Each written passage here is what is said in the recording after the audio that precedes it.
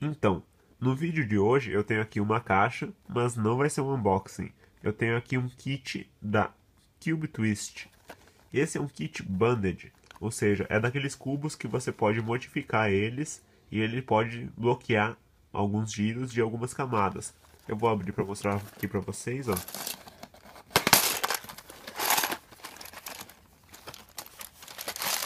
Eu tenho isso aqui dentro. Claro que quando eu comprei, veio tudo embaladinho, dentro de pacotinhos, mas eu já tirei tudo isso aí. Eu tenho aqui o cubo. Ele é todo preto. Não sei se vem de branco, acredito que não. Ele gira muito bem. Corte de quina, é, linha com linha até vai. Ele dá pra regular. Deixa eu ver se eu consigo tirar uma tampinha aqui. Hum. Aqui, ó. Tem acesso ao parafuso.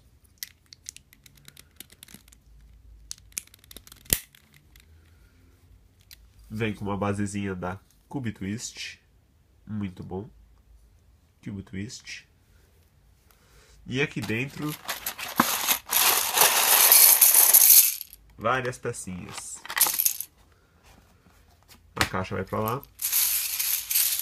E essas pecinhas você já pode imaginar para que, que serve. Você pode criar o cubo que você imaginar.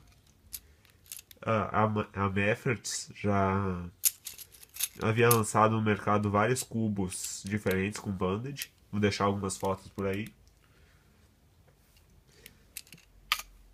E nesse aqui você pode criar praticamente todos esses cubos, né? Uh, eu vou criar aqui alguns modelos, ó. Aqui eu tenho uma placa bem grande, amarelo. Vou botar um laranja aqui. Deixa eu ver se consigo um azul. Eu sou bem chato, eu gosto de ter o esquema de cores igualzinho no cubo 3x3.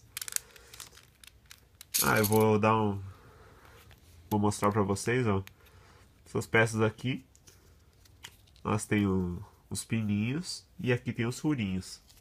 Claro, você encaixa elas. Opa, virou.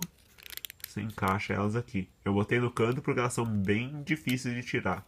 Essa era uma preocupação que eu tinha quando comprei. Que elas iam sair muito fáceis. Mas não, é o contrário. Você sofre um pouquinho para tirar. Mas nada que uma chave de fenda não resolva. Bom, eu vou acelerar um processo aqui e depois eu já mostro o cubo montado.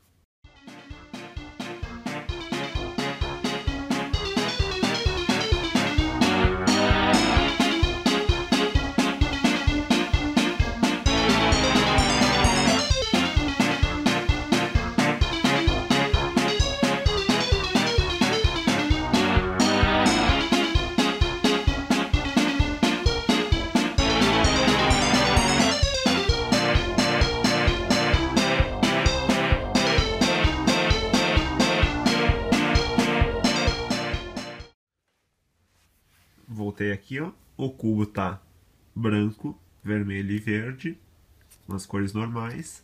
Só que do lado amarelo, laranja e azul, tem esse bloco aqui, gigante, que, vamos dizer assim, dificulta um pouco a solução. Essa modificação aqui que eu fiz não é tão difícil assim. Poderia complicar um pouquinho mais. Vou até embaralhar ele para mostrar como é que fica ah, poderia ser um pouco mais difícil. Eu poderia botar peças unindo duas pecinhas aqui, mas eu gostei bastante dessa aqui. Bom, agora você não pode fazer movimentos de face, onde tem as peças amarelo, azul e laranja. Não pode fazer direita, porque sai direita duas, né? Basicamente você tem que trabalhar com essa face aqui, essa daqui e a de cima, porque a de trás hum, tem o bloco grande. Então, essa é uma das modificações. O limite é a sua imaginação. Você pode criar o que você quiser. Na verdade, eu vou mostrar mais uma modificação agora, que você pode fazer com um cubo de adesivos. E acredito que até um dia eu faça essa modificação usando um cubo de adesivo, com adesivos porque eu acho que fica muito legal. Essa aqui é uma modificação que eu faço seguidamente nesse cubo aqui, ó. Mas o que, que tem de diferente? As cores estão normais, né? Não, não exatamente. Eu gosto de deixar três lados sem nada e três lados montados, assim. Por quê? Porque eu me desafio. Bom, isso vale da minha força de vontade, né? Eu me desafio a montar isso aqui sem usar algoritmo nenhum. O máximo que eu uso é pesca, né? Porque eu nem considero um algoritmo. É só um movimento para encaixar as peças. E isso torna um pouco difícil, vamos dizer, nem tão difícil, mas diferente do que eu estou acostumado a resolver. Aqui um F2L. Ah, isso torna um pouco bem um pouco diferente a resolução.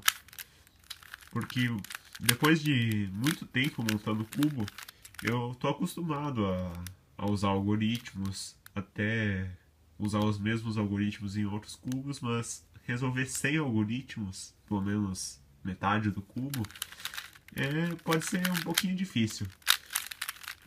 Ó, por exemplo, aqui ele está bem misturado. Daí você vai colocando, tentando fazer uma espécie de cruz para depois tentar encaixar as peças. Daí você repara que tem peças que você pode estragar, vamos dizer assim. Colocar qualquer coisa no lugar e torna um pouquinho mais divertido.